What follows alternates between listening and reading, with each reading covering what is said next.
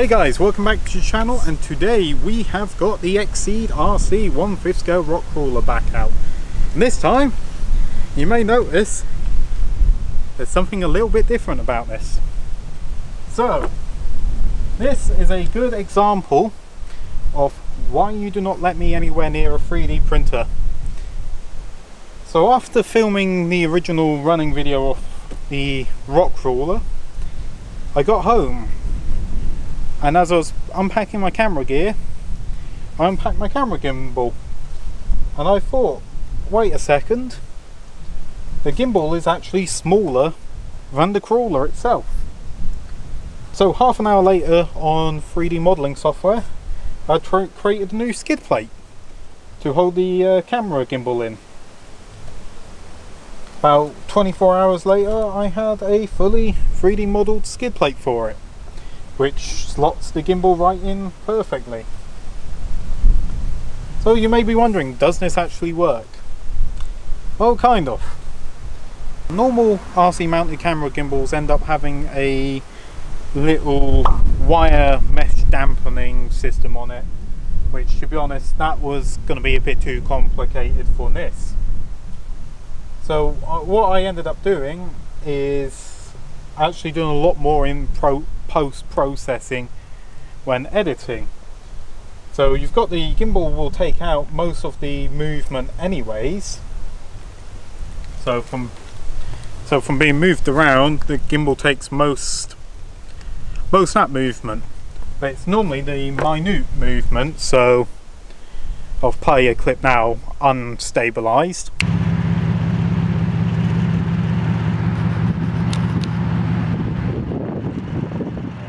It's all that minute movement which is the issue. But thankfully, sometimes uh, Premiere Pro actually comes in handy with a little function called Warp Stabilizer. So this is the same clip with Warp Stabilizer added.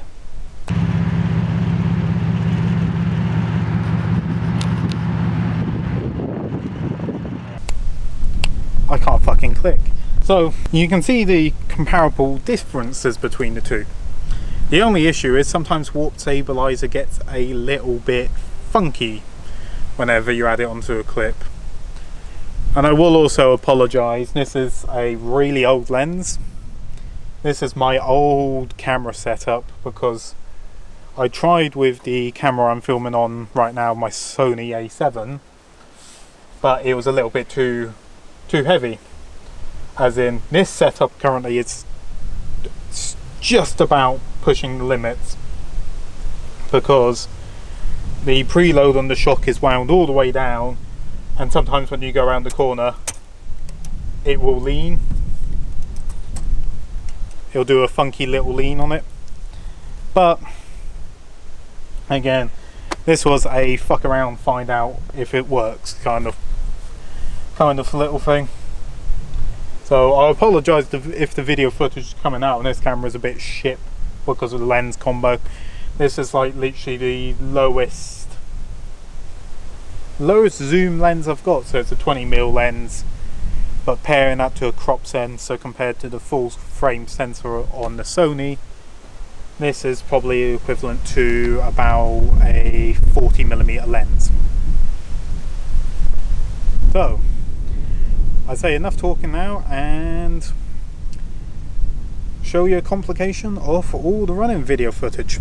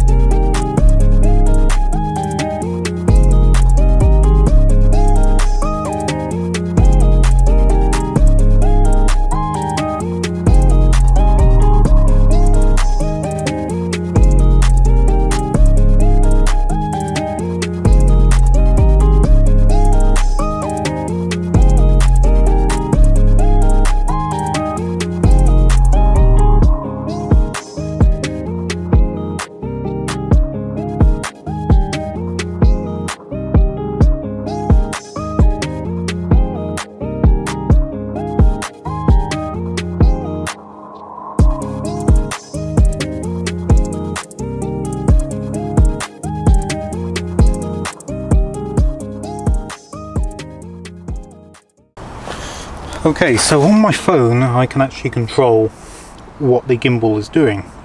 I can actually set up for it to do tracking.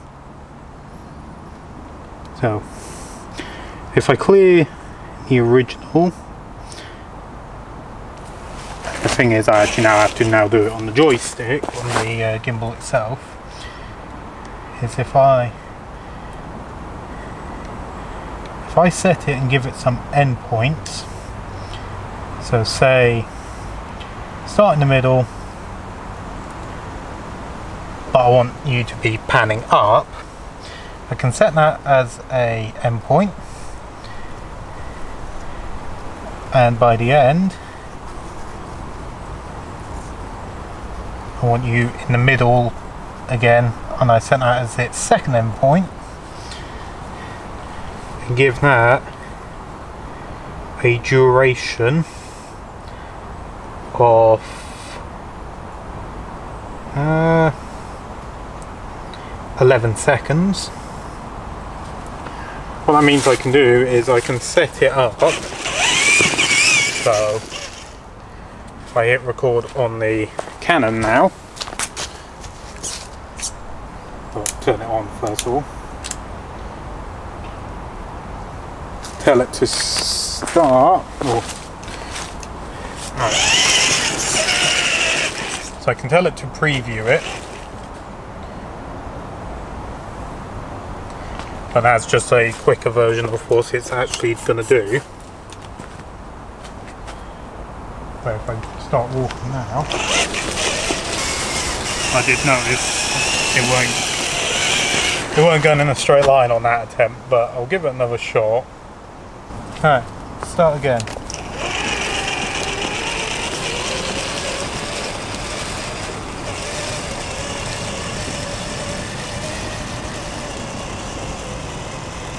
So with this kind of functionality, it means I don't actually have to be controlling it. It can sort of follow a predetermined path on how it pans and or how it moves. The thing is, you've just got to get it to match the speed while driving and the speed of the camera so it's a lot easier if you're looking at the car to sort of match the speed and match what the camera is actually seeing. This is just a little extra run to show actually how fast it can get up to. So that is flat out. And this is the camera lean I was talking about